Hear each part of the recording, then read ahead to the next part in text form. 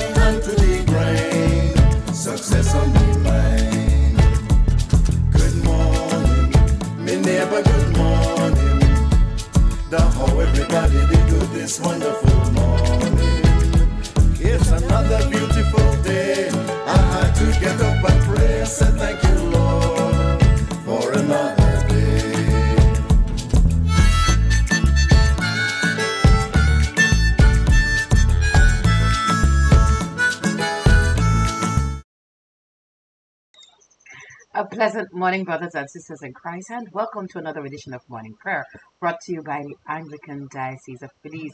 Today is July the 10th. Mhm. 10 days gone just like that.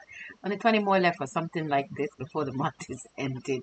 July 10th, time is flying. It's a beautiful Monday morning here. The sky is blue with just slight touches of puffs, hints of grey on there. Wind is blowing mightily from out of the east northeast and let me tell you the sea looks very very angry. Them coconut trees are not having a nice time but birds are singing and we are blessed to be alive. We're going to kick things off this beautiful beautiful monday morning with this one entitled breathe on me breath of god. Let's have a listen. Breathe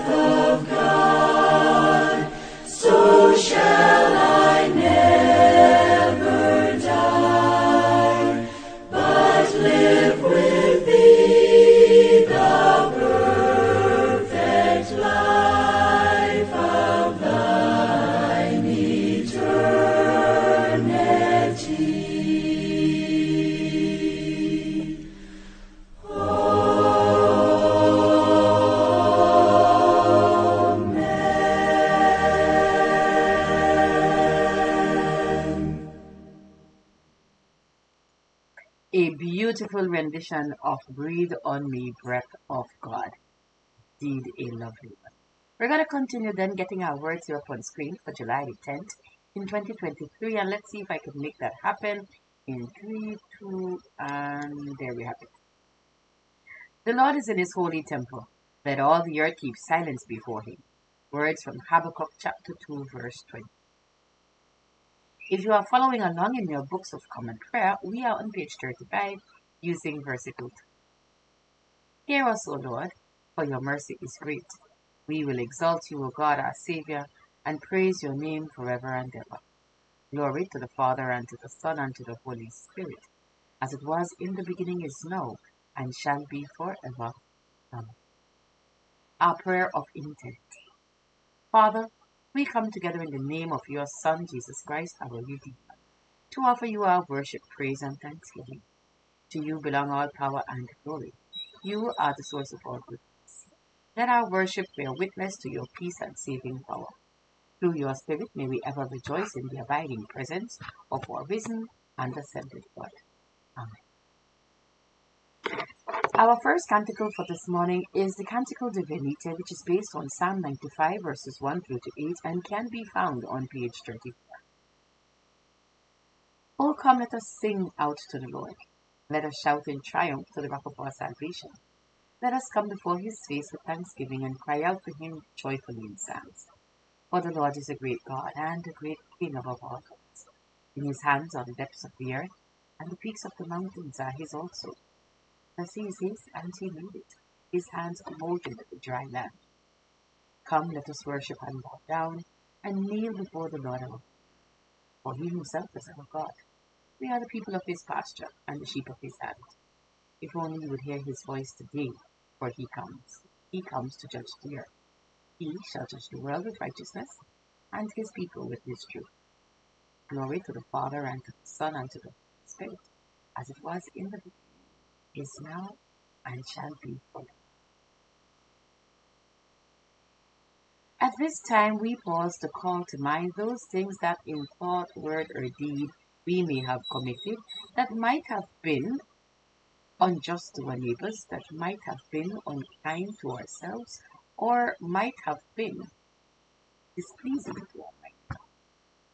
For those times and those moments, Lord, we pray to you for the forgiveness of our sins. Together we pray, have mercy upon us, most merciful Father. In your compassion, forgive us our sins, known and unknown, things done and left undone. And so uphold us by your Spirit, that we may live and serve you in newness of life, to the honor and glory of your name. Through Jesus Christ our Lord. Amen. May Almighty God have mercy upon us, pardon and deliver us from all our sins, confirm and strengthen us in all goodness, and keep us in life everlasting. Through Jesus Christ our Lord. Amen. Our Psalms appointed for this morning are Psalms 1, 2, and 3. And leading us in the reading of the Psalm is Miss Shalima. Now, let's have a listen. The psalm appointed for today is as follows Happy are they who have not walked in the counsel of the wicked, nor lingered in the way of sinners, nor sat in the seats of the scornful. Their delight is in the law of the Lord, and they meditate on his law day and night. They are like trees planted by the streams of water, bearing fruits in due season with leaves that do not wither. Everything they do shall prosper. It is not so with the wicked. They are like chaff which the wind blows away. Therefore, the wicked shall not stand upright when judgment comes, nor the sinner in the counsel of the righteous. For the Lord knows the way of the righteous, but the way of the wicked is doom. Why are the nations in an uproar? Why do the people mutter empty threats? Why do the kings of the earth rise up in revolt and the princes plot their plot together against the Lord, against his anointing? Let us break their yoke, they say. Let us cast off their bonds from us. He whose throne is in heaven is laughing. The Lord has them in his discern. Then he speaks to them in wrath, and his rage filled them with terror.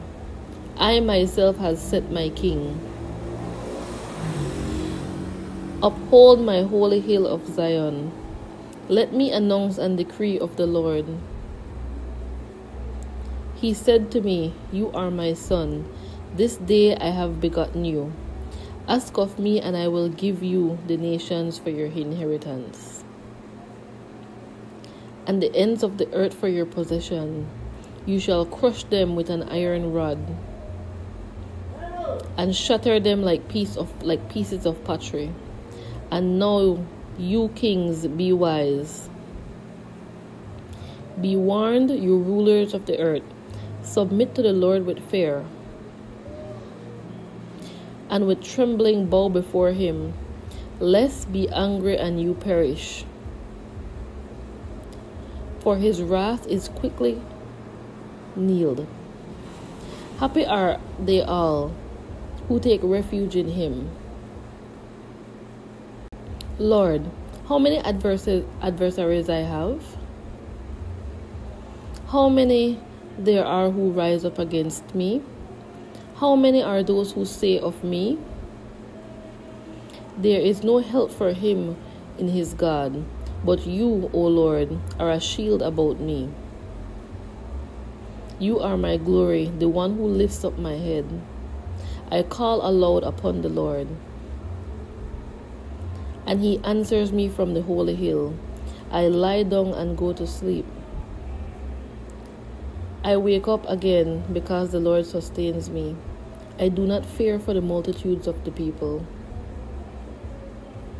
who set themselves against all around. Rise up, O Lord, set me free, O my God. Surely you will strike all my enemies across the face. You will break the teeth of the wicked. Deliverance belongs to the Lord. Your blessings be upon your people. Glory be to the Father, and to the Son, and to the Holy Ghost, as it was in the beginning, is now, and shall be forever, world without end. Amen. We want to thank Miss Young for leading us in the reading of Psalms 1, 2, and 3. And Miss Shalima is reading in honor of the birthday of her son, Arian. Our second canticle this morning is the Canticle the Song of Christ's Glory, based on Philippians chapter 2, verse 5 to 11. If you are following along in your books of common prayer, it can be found on page 50. Christ Jesus was in the form of God, but he did not cling to equality with God. He emptied himself, taking the form of a servant, and was born in the likeness of men. Being found in human form, he humbled himself, and became obedient unto death, even death on the cross. Therefore God has highly exalted him, and bestowed on him the name above every name, that at the name of Jesus every knee should bow, in heaven and on earth and under the earth, and every tongue confess that Jesus Christ is Lord, to the glory of God the Father. Glory to the Father, and to the Son, and to the Holy Spirit, as it was in the beginning, is now, and shall be forever. Our Bible lesson for this morning comes from the Gospel according to Luke, Luke chapter 23, verses 44 to 56. And reading in honor of the birthday of Arian is Miss Shalima Young. Let's have a listen. The reading for today is taken from the Gospel according to Luke, chapter 23, verses 44 to 56a. It was now about noon, and darkness came over the whole land until three in the afternoon, while the sun's light failed and the curtain of the temple was torn in two. Then Jesus, crying with a loud voice, said, Father, into your hands I commend my spirit. Having said this, he breathed his last. When the centurion saw what had taken place, he praised God and said, Certainly this man was innocent. And when all the crowds who gathered there for this spectacle saw what had taken place, they returned home, beating their breasts. But all his acquaintances, including the women who had followed him from Galilee, stood at a distance watching these things. Now there was a good and righteous man named Joseph, who, though a member of the council, had not agreed to their plan and action. He came with the Jewish tongue from the Jewish tongue of Arimathea and there was a waiting expectancy for the kingdom of God. This man went to Pilate and asked for the body of Jesus. Then he took it down, wrapped it in linen cloth, and laid it in a rock hewn tomb where no one had ever been laid. This was a day of preparation, and the Sabbath was beginning. The women who had come with Jesus from Galilee followed, and they saw the tomb and how the body was laid. They returned and prepared spices and ointments. On the, on the Sabbath, they rested according to the commandment. The word of the Lord. Thanks be to God. We want to thank Miss Shalima for leading us in both the Psalms and the reading for this morning. And we want to wish baby Ariel a happy and blessed. If you allow me a couple of seconds to get back to the beginning of the reading here from Luke chapter 23, verse 44 to 56. And let's see, I can make this happen. Yes, I can. There we go. Now, you would have heard Luke 23, where we're finishing up with the Gospel according Luke chapter 24 comes up by the ending of the week, I believe. Um, and let me tell you, well, I think it comes at the middle of the week. But time is running out for Luke. And we would have heard in Luke the trial of Jesus last week before Pontius Pilate. And then, of course, the questioning by Herod Antipas, the demand for a miracle. And then we would have heard, of course, a second trial before Pilate, in which Pilate tried to release Jesus, but instead just ended up, well, after chastising him, yielding to the desires of the leaders of the and the crowd made its choice. They had to choose between Jesus Barabbas or Jesus of Nazareth, and they chose Jesus Barabbas. And so we would have heard about the crucifixion of Jesus and his death and his burial. Of course, Simon carrying the cross unwillingly, and we sometimes being unwilling to carry our own. The fact that Jesus spoke to the daughters of Jerusalem to remind them that they should weep not for Jesus, but for those who would be left behind who would not find truth in him being the Messiah. Yes? And I mean, hmm, wow, weep for those who reject me, is what Jesus was saying. And then, of course, the, gru- the gruesome crucifixion, the nailing to the cross, and we would have missed some of that simply because it was the weekend and we don't have uh, um, morning prayer on the weekend. But of course, during that period that we would have missed on Saturday and Sunday, it would have been Jesus on the cross. It would have been his words from the cross. Father, forgive them for they do not know what they are doing. The people chiding him, he saved others, let him save himself. You know, the inscription on the cross, this is the King of the Jews, and just the people mocking Jesus as he hung there, dying for their sins. We would have heard as we're leading right up to verse 43, had we done Bibles, a morning prayer on the weekends, we would have heard the one criminal that was hanging on Jesus' right.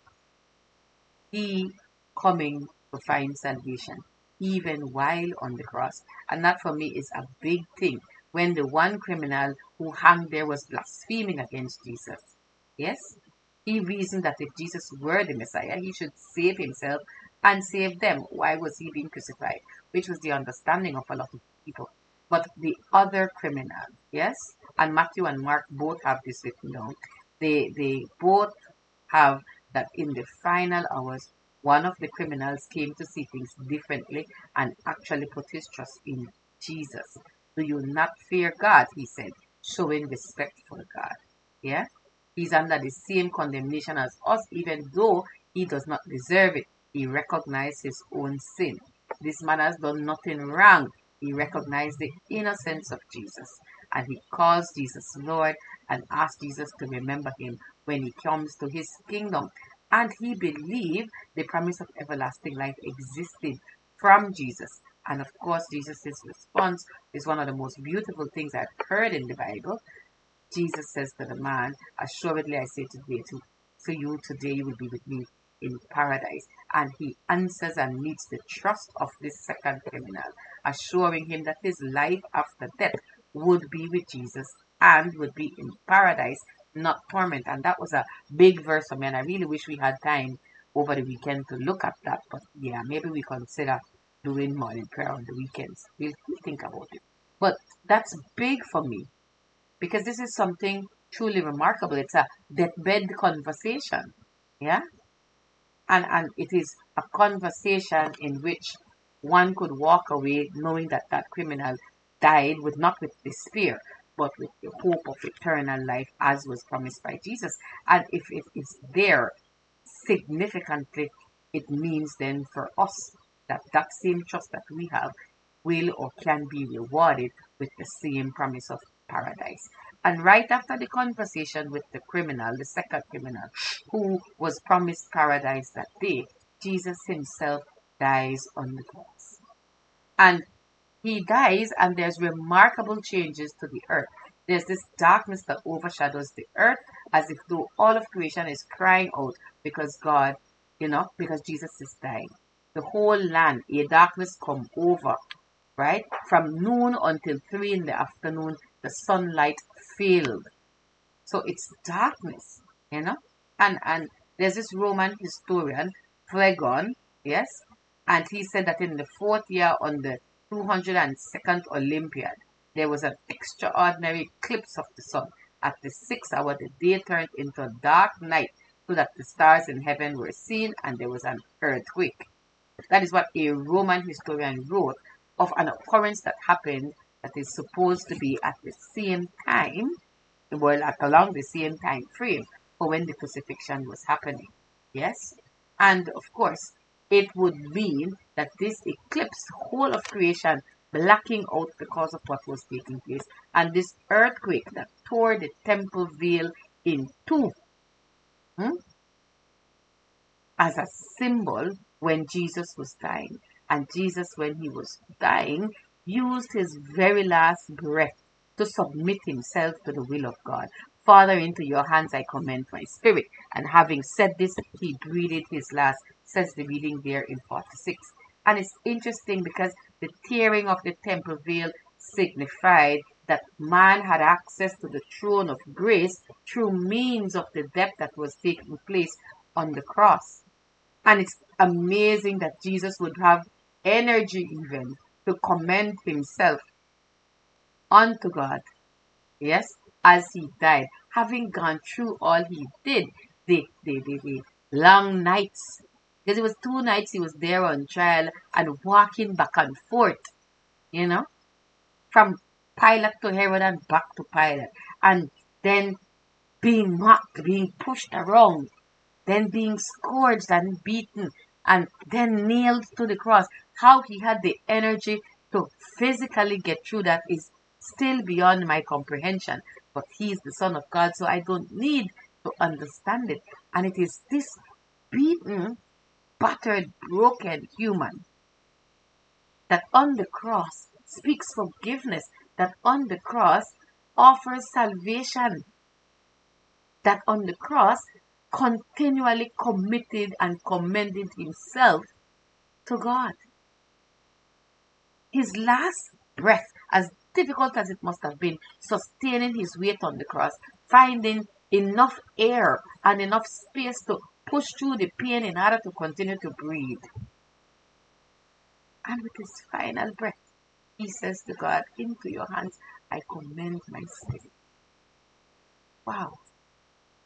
That is that is deep. That is heavy. And and his work on the cross was accomplished. And this was a prayer from the lips of Jesus.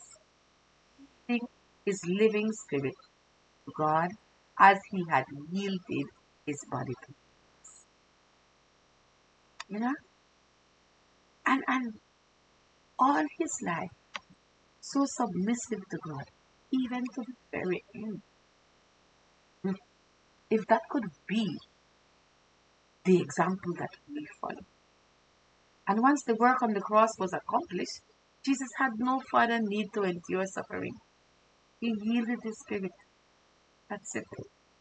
And what stands out for me is the reaction of the bystanders who are witnessing this thing. When the centurion saw what had happened, he praised God and said, Certainly this man was innocent. At the death of Jesus on the cross, this Gentile centurion, not even a Jew, a Gentile centurion, noticing what is happening, what is transpiring, is so moved that he is now a Gentile convert to the faith of Christ. Not even seconds before the death. I mean, after the death of Christ. Immediately gave glory to God and he understood Jesus for whom he was. Certainly, this man was innocent, he was a righteous man.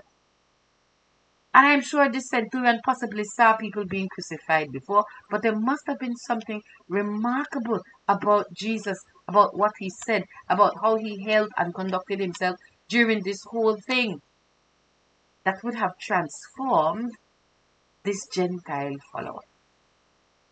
Hmm? And of course, the people are gathered around because there's a spectacle to be seen. And like good people, hmm, humans, when there is something happening that we gather around because we're nosy and we're curious and we want to see and we want to experience.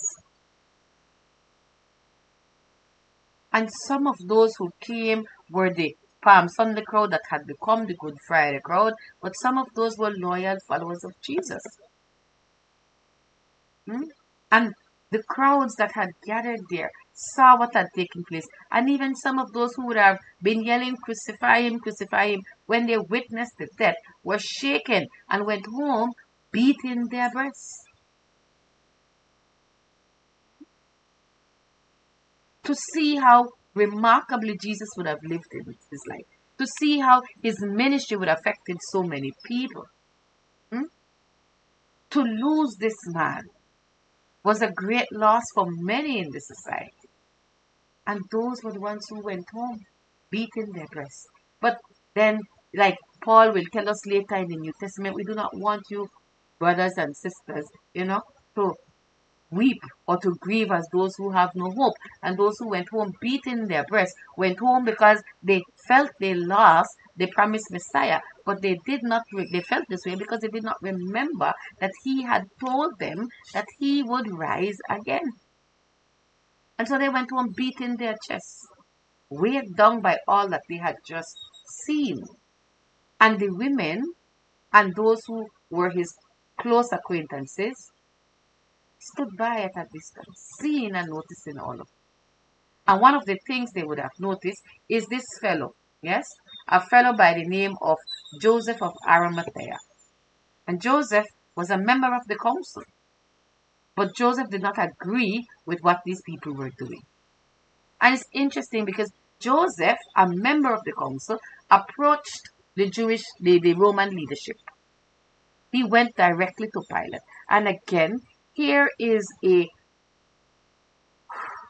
not necessarily a partnership, but an example of the willingness that had existed between Rome and the Jewish leadership. We heard about it last week when the Jewish leadership were pressuring Pilate and pressuring Herod to crucify Jesus. And in this instance, Joseph of Arimathea is going to go to create a new link. Yes? But now yielding to a side of Pilate that feeds into what Pilate originally was feeling. Remember, Pilate tried to not crucify Jesus, and when he realized there was nothing he could do, he tried to remove the guilt from himself. And so, when Joseph of Arimathea goes to him, he himself already knowing that Jesus was an important figure, agrees to give to give uh, Joseph the body. And it wasn't a custom that the body would be taken off of the cross so quickly. The tradition of the Roman crucifixion were that criminals that were crucified, their bodies were left on the cross to rot or to be eaten by, by, by vultures and other scavengers so that so that passers by would see how this how this gruesome death awaited anyone who tried to rebel against Roman authority. You know? And Passover was coming, so the Jews probably didn't want such a horrible display during the Passover.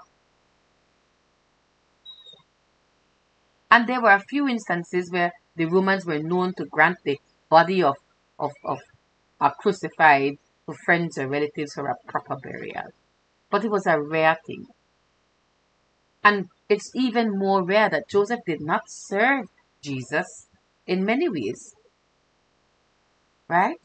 But he did serve him in one of the best ways he could by dignifying his death with burial, at a proper burial. And it wasn't even a really, really a proper burial because they were running out of time.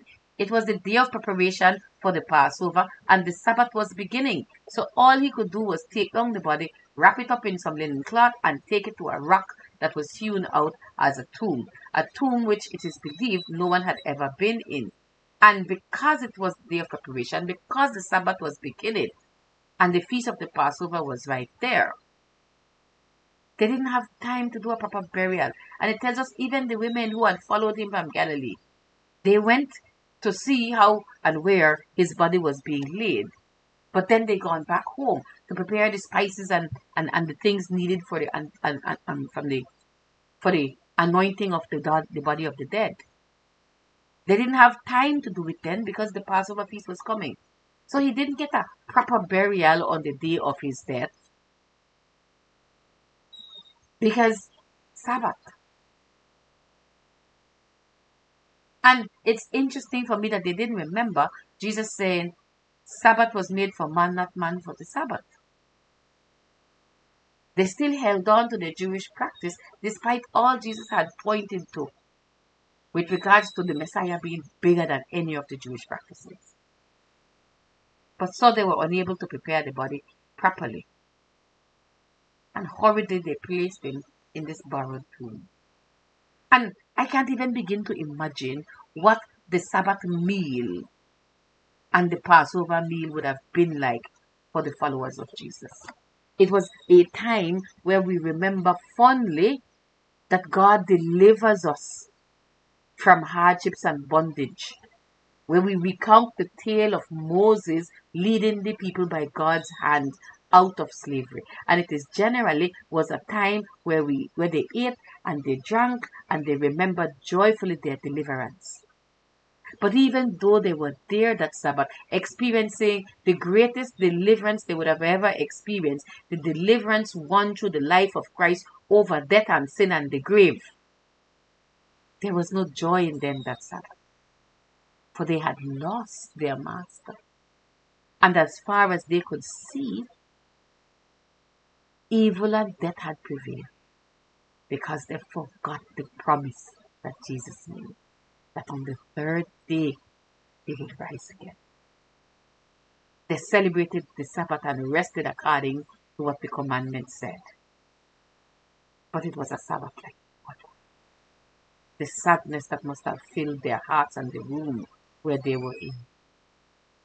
The fear, the doubt, not having the Lord with us, feeling like we are separated from the love of God is a dark and sad and lonely. But the truth is, we have to remember the promise.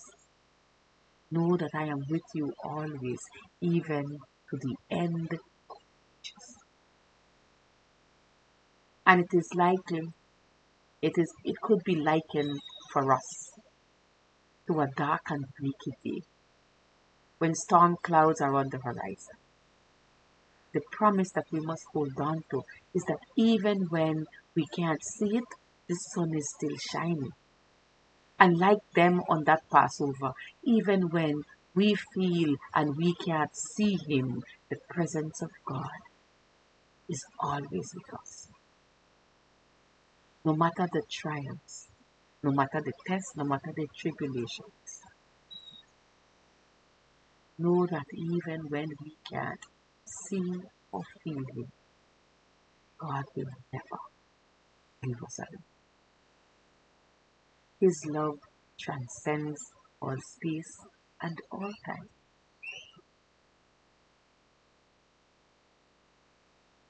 That was the sacrifice Christ made.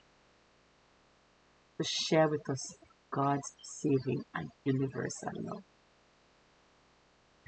The reading ends on a sad note for those who are followers of Christ. But the story is not complete. Tomorrow, we look forward to hearing what will happen next as we read and live with hope that though we may not see him, our Lord is always there. Amen.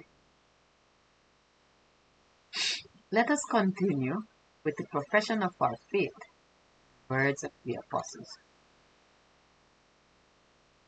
Together we sing, I believe in God, Father Almighty, the creator of heaven and earth. I believe in Jesus Christ, his only Son, our Lord. He was conceived by the power of the Holy Spirit and born of the Virgin Mary. Under Pontius Pilate, was crucified, died, and was buried. He descended. On the third day he rose again. He ascended into heaven and is seated at the right hand of the Father. He will come again to judge the living and dead. I believe in the Holy Spirit, Holy Catholic Church, communion of saints, forgiveness of sins, resurrection of the body, life everlasting. The Lord be with you. As our Savior has taught us, so let us pray. Our Father in heaven, hallowed be your name. What Your will be done on earth as it is in. Give us today our daily. Forgive us our sins as we forgive those who sin against us. Save us from the time of trial and deliver us from for the kingdom, the power, and the glory, now and forever. For our suffrages, we use suffrage C on page 40. Save your people, Lord, and bless your inheritance. Govern and uphold them now and always. Day by day we bless you, we praise your name forever. Lord, keep us from all sin. Mercy on us, Lord, have mercy. Lord, show us your love and mercy, for we put our trust in you. In you, Lord, is our hope, and we shall never hope. Our first collect for this morning is the collect for Pentecost Proper. Let us pray. O God, you have taught us to keep all your commandments by loving you and honoring you. Grant us the grace of your Holy Spirit, that we may be devoted to you with our whole heart, united to one another with pure affection, through Jesus Christ our Lord. Amen. At this time, we turn to our prayers of personal intercessions and thanksgiving.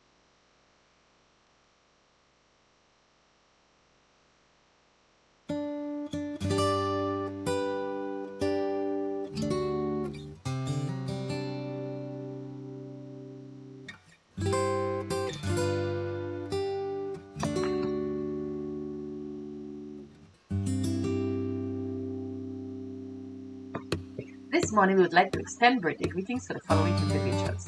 Celebrating a birthday on Sunday was Mr. Brent Harris, Miss Beverly Barton, Miss Berla Westby, Mr. Ryan Simpson, Miss Shauna Aviles, Mr. Alfred Taylor, and Miss Lillian Zuniga. Celebrating a birthday today is Miss Glenda Reed, Mr. Arian Young, Mr. Robert Holton, and Miss Marsha Mejia. We want to wish all those of you celebrating birthdays a happy and blessed birthday. We remember in prayer Mr. Nigel and Miss Bernadette Redhead, who celebrated 45 years of marriage on the 9th of July. Congratulations. Happy birthday to those celebrating birthdays. In our prayers, we continue to give God thanks for persons who have recovered from illness and surgery, and we continue to pray for healing and recovery for the following individuals. We remember and pray for Miss Judith, Miss Miss Polly, Rose, Miss Grace, Miss Celine, Miss Maria, Miss Norma, Miss Mary, and Miss Joyce. For Miss Monica, Miss Sylvia, Miss Liz, Miss Aiswood, Miss Justine, Miss Lisa, Miss Soila, Miss Mary, Miss Janet, and Miss. We pray for Miss Margaret, Miss Myrna, Miss Janice, Miss Dylan, Miss Alma, Miss Marlene, Miss Crystal, Miss Amelia, Miss Valencia, Miss Berla. Pray for Miss Betty, Miss Martha, Miss Marva, Miss Gloria, Miss Celestina, Miss Jessica, Miss Sean, Miss Alta, Miss Teresa, Miss Molly, Miss Agnes, Miss Lena, Miss Loretta, Miss Barbara, Miss Ruby, Miss Arlette, Miss Yolanda, Miss Janice, Miss Glenda, and Miss E. Pray for Miss Priscilla, Miss Jean, Miss Alma, Miss Maud, Miss Elma, Miss Del Delvin, Miss Geraldine, Miss Myrtle, and Miss Faith. We pray for Miss Veroline, Miss Carol, Miss Jasmine, Miss Amir, Miss Nina, Miss Eleanor, Miss Gladys, Miss Robin, Miss Ellen, Miss Louise, Miss Rita, Miss Lisa Miss Lucia, Miss Ismay, and Miss Anne. We pray for Miss Fiona, Miss Kathleen, Miss Kenya, Miss Elena, Miss Sharon, Miss Elva, Miss Caroline, Miss Gretel, Miss Sam, Miss Bourbon, Miss Brenda, Miss Tanisha, Miss Dominic, Miss Nadia, Miss Sheila, Miss Pat, Miss Michelle, Sophie, Miss Angela, Miss Carla, Miss Madine, Miss Lindsay, Miss Susan, Miss Kimberly, Miss Shanice, and Miss Tex. In our prayers, we continue to pray for the following of our daughters. We remember and pray for Mr. Seal, Mr. Larry, Mr. Kendrick, Mr. Wilfred, Mr. Marvin, Mr. Philip Father, Mr. Jeffrey, Mr. Tony, Mr. Gary, Mr. Rudolph, we pray for Mr. Finley, Mr. Costa, Mr. Oscar, Mr. Freddie, Mr. Dion, Mr. Charles, Mr. Mr. Ian, Mr. Bill, Mr. Dudley, Mr. Rupert, Mr. Mr. Robert, Mr. Rodney, Mr. Isma, Mr. James, Mr. Walker, Mr. Carlos. We pray for Mr. Lee, June, Mr. Dion, Mr. Alfred, Mr. Ian, Mr. Lee, Mr. Mark, Mr. Emmett, Mr. Clinton, Mr. Lewis, Mr. Sean, Mr. Russell, Mr. Kurt, Mr. Gilbert, Mr. Michael Wickett, Mr. Michael Summers, Mr. Michael, Mr. Mr. Ambrose, and Bishop Pasio. To remember and pray as well for Bishop Wright, Mr. Richard, Mr. Carmen, Mr. Grayson, Mr. Caver, Mr. Estavo, Mr. Doe, Mr. Irvin, Mr. Chris, Mr. Lester, Father Mark, Mr. Lincoln, Mr. Kieran, Mr. Pete, Mr. David, Mr. Ernst, Mr. Paul, so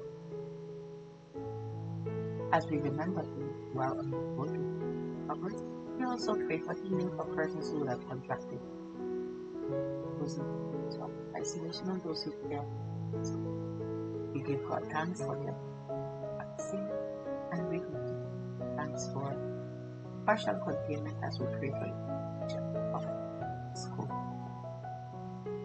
As we pray for those who are infirm, we remember and pray for those who offer care for those that are infirm. Giving God thanks for the ministry that they offer persons who are ill. We remember and pray for protection all medical professionals in government. We remember and pray especially for Doctors Melina Montenero, Monica uh, Ariel, Shugreen, Arnold, Ken, Arano, Clarence, Joseph Gill, Nurse Eddie, Nurse Abel, Nurse Shereen, Nurse Joycelyn, Nurse Alberta, Nurse Alejandra, Nurse Vivian, Ashley. For all of our nurses, our lab technicians, our radiologists, our pharmacists, persons that work in the kitchen, the cleaners, the admins, the security men, the persons in office of administration staff of medical institutions, both in public and private entities. Timothy, thanks for your service to him and your service to others. We say a special prayer for those who fear that there is none to care for them. Pray together according to the sick. Heavenly Father, giver of life and health, comfort and relieve your sick servants and give your power of healing to those who minister to their That those for whom our prayers are offered may be strengthened in their weakness, have confidence in your loving care, and experience your healing grace. Through Jesus Christ, our Lord, who lives and reigns with you and the Holy Spirit, one God, now and forever. In our prayers, we continue to pray for the comfort for those who are grieving the loss of a loved one.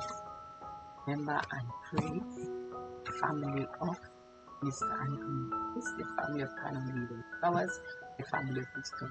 Brown, family of Mr. John Martinez, family of Miss Frances Cass, family of Mr. Noel Bernard, family of Miss Monica.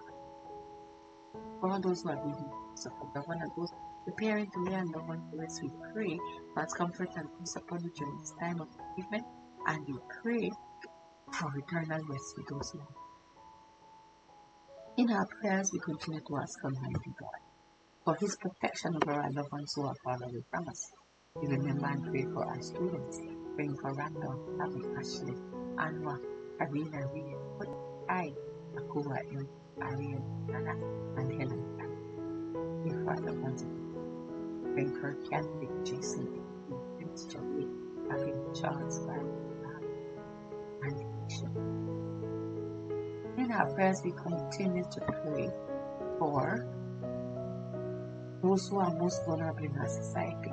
We remember and pray for the poor and the elderly, persons with pre-existing health conditions, persons struggling with cancer, lupus, autoimmune illnesses, persons suffering from substance abuse and addictions, and all the ailments that come persons battling with mental health issues and depression, persons facing instances of, of violence and abuse of any kind. We pray for God's protection and provision over those who are vulnerable in society.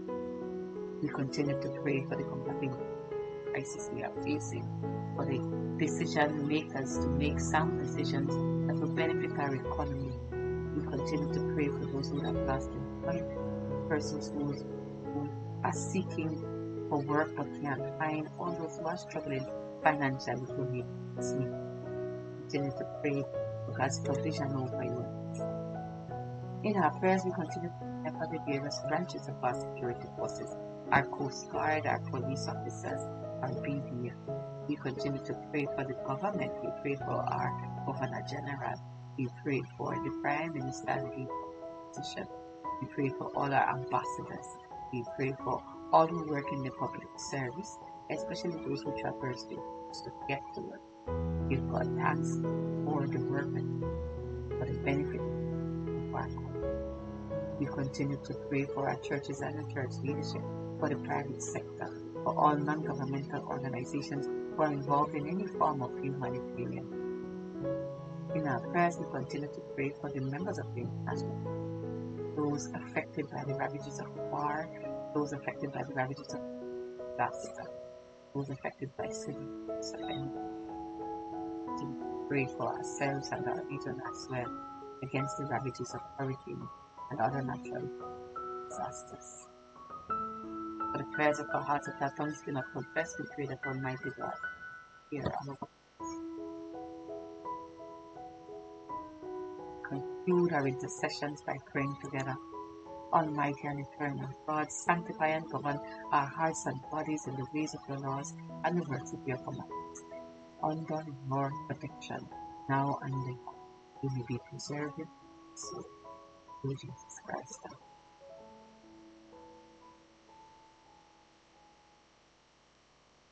By means of announcement, brothers and sisters, I want to thank you so much for joining me for morning prayer this morning. It is indeed a blessing and a privilege to be able to greet each new day in the presence of Almighty God and to be able to greet each new day in your presence as well. Mhm. Thank you so much for joining me this morning. We want to say thank you as well to the members of the Belize Crusader movement who led us in worship last uh, Sunday, Sunday gone right here yesterday. We want to thank the Bishop and Mrs. Wright along with the online ministry and the online music team that work together in order to make these services possible. Speaking of services, following this broadcast this morning, we have noonday prayers at midday, evening prayer at 5.30 and compline at 9 p.m. to close off our day. I invite you to join us for any or all of these services as you are able. And don't worry, don't worry. If you miss it at the broadcasted time, you can always revisit the Facebook pages of any of our Anglican churches in the Diocese of Belize, as well as the Christ the King and on the Facebook page, the YouTube channel of the Anglican Diocese. Please do know that we are thankful for your partnership and for your continued support of the work and the ministry of the Anglican Diocese. We're going to wrap things up this morning with our prayer of dedication, followed by the grace, the dismissal, and then our final. Let us pray. Almighty God, we thank you for the gift of your. May it be a lantern to our feet, a light to our paths, and a strength to our lives. Take us and use us to love and to serve our persons in the power of the Holy Spirit and in the name of your Son, Jesus Christ. Brothers and sisters, may the grace of our Lord and Savior Jesus Christ, the love of God, and the fellowship of the Holy Spirit be with us all now and forevermore. Amen. The Lord be with you. Let us bless the Lord. Thanks be to God. We're going to close off this morning with one entitled, Blessed are the pure in heart. I really like this one, and I do hope you enjoy it as well. I want to thank you for joining me this morning. Please do all you can to keep yourself and your family safe. Until tomorrow morning, same place, same time. God bless, and bye for now. Good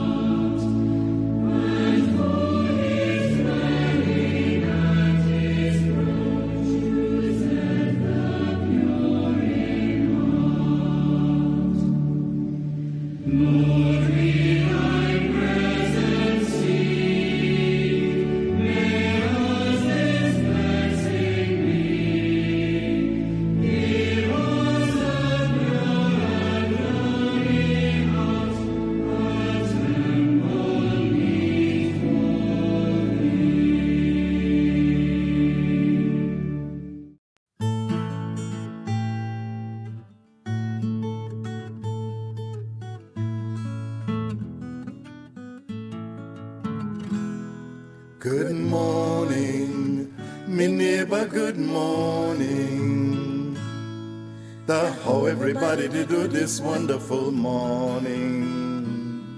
It's another beautiful day. I had to get up and pray and say thank you, Lord, for another day.